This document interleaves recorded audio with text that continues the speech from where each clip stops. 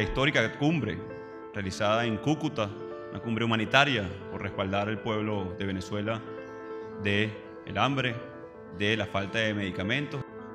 En Venezuela hoy estamos luchando por elecciones libres en el marco de la Constitución, democráticas. La exigencia es muy clara del pueblo de Venezuela. Vivir en paz, encontrar alimento, trabajo, no caminar por la frontera. Nós, eu, Guaidó, queremos uma igualdade por cima na prosperidade. A situação que seu país encontra no momento. Nós queremos, continuamos apoiando todas as resoluções do Grupo de Lima para que atinjamos então o objetivo que interessa a todos nós: liberdade e democracia. E nós não pouparemos esforço dentro, obviamente, da legalidade, da nossa Constituição e de nossas tradições, para que a democracia seja restabelecida na Venezuela.